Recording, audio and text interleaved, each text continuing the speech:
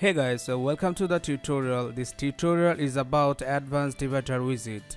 In this tutorial, you will be able to know about divider and I will show you how you can do that using advanced divider widget. Here I have taken heading and paragraph before. Now I will show you how you can set divider between heading and paragraph.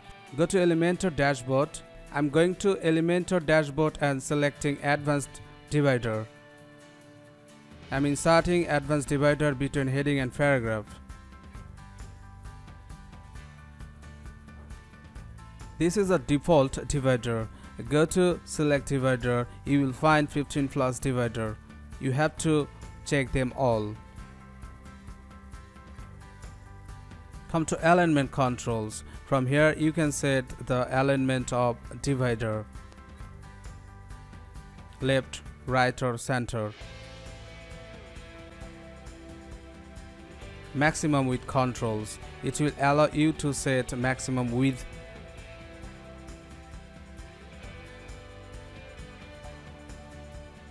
There is options for you to set gap top and bottom. Just scroll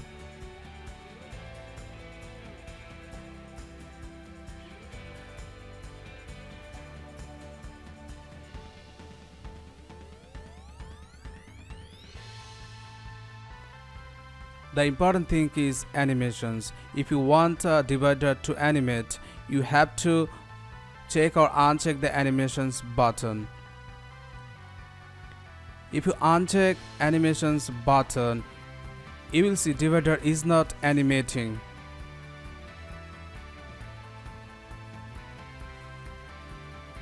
If you check the animation button again you will see the animations again with every single divider.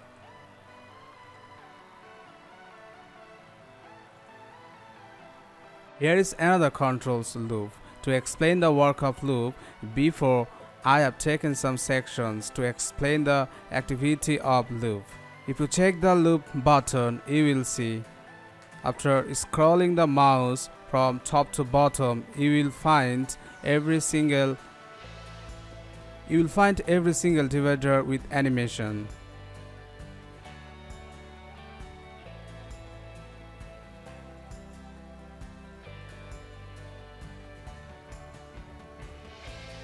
Now come to additional settings sections. From here you can set the stroke width of the divider.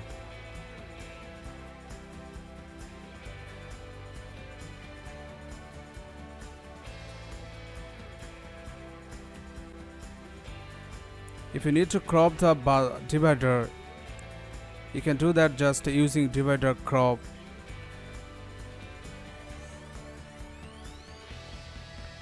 From here you can also set the max match height of divider.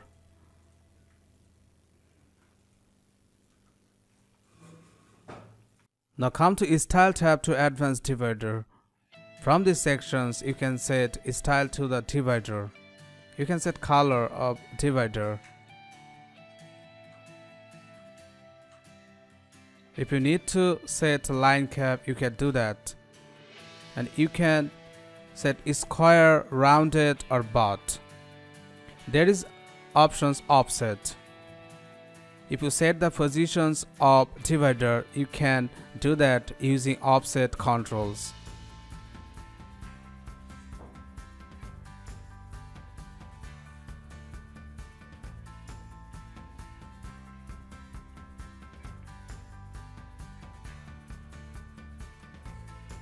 and that's all about advanced divider widget hope you have enjoyed the tutorials and thanks for watching